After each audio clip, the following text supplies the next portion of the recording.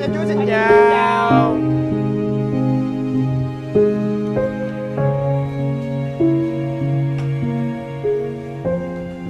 Ba cha Chúa xin chào. Ba cha Chúa xin chào. Gì? Hai phần combo. Hai phần combo đặc biệt. Copy. Ba cha Chúa xin chào. Tiếp theo ba cho dưới xin chào. Khách dùng Dạ xin lỗi, Mong quý khách thông cảm cho quán. Tại vì hôm nay ba anh em tụi tôi được lên tivi trong cái chương trình về với cội nguồn nên phải về sớm. Dạ quý khách nào mà chờ chưa có được ăn á, Ngày mai quay trở lại đưa phiếu Tôi sẽ phi một phần truyền thống. Ừ thôi vậy cũng được.